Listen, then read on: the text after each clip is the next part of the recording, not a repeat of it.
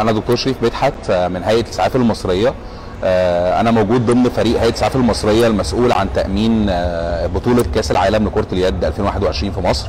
أنا مسؤول الفريق الطبي في استاد القاهرة.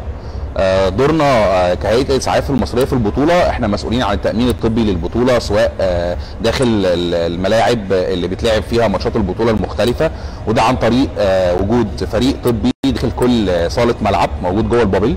مسؤوليته هو التعامل مع اللاعبين لو حصل في أي إصابة أثناء المباريات. هو اللي حصل امبارح ببساطة إحنا كنا موجودين على خط الملعب كدورنا العادي اللي بيحصل في كل ماتش عشان لو حد حصل له أي إصابة. وفوجئنا في المباراة الشد والجذب اللي حصل والسنة العنف اللي كانت في اللعب إن التيشيرتات كلها اتقطعت. وأحمد تقريبا ما كانش فيه تيشيرتات تاني عشان يقدر يكمل الماتش. فبعد نهاية الشوط الأول جات لي فكرة كده إن إحنا ليه ما نصلحش التيشيرتات دي بالإمكانيات المتاحة يعني. فجريت على كابتن أحمد شوقي وقلت له هات أنا التيشيرتات أنا هعملها. فقال لي هتعملها إزاي؟ قلت له أنا هتصرف. أنا معايا طاقم مسعفين شباب كده زي الورد يعني.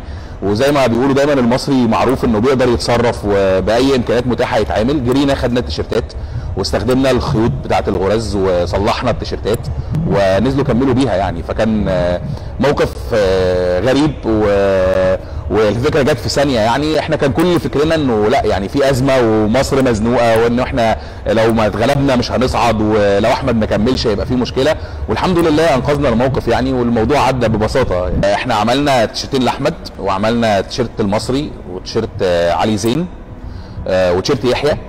المشكلة كانت في تيشيرتات أحمد لأنه كانوا التيشيرتين باظوا تقريبا يعني بس الحمد لله قدرنا نصلحهم ونظبطهم ونزل كمل بيهم الحمد لله يعني. ده من أغرب المواقف يعني والأغرب بقى اللي حصل من إمبارح يعني. إحنا إحنا عملنا ده وعادي يعني موقف عادي ولمينا المشكلة.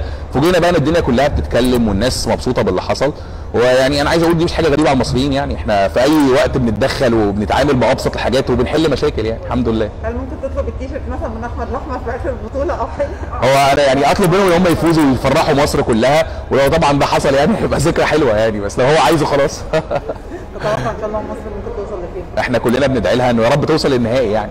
بس هم على يعني التمثيل اللي عملوه امبارح وال... وال... والطريقة اللي لعبوا بيها امبارح والرجولة والجدعنة في وسط الماتش العنيف ده آه يعني كفاية عليا أنا شخصيا إن هم صمدوا لآخر دقيقة وجابوا النتيجة دي في ظل الصعوبات كتير قوي اللي كانت في الماتش.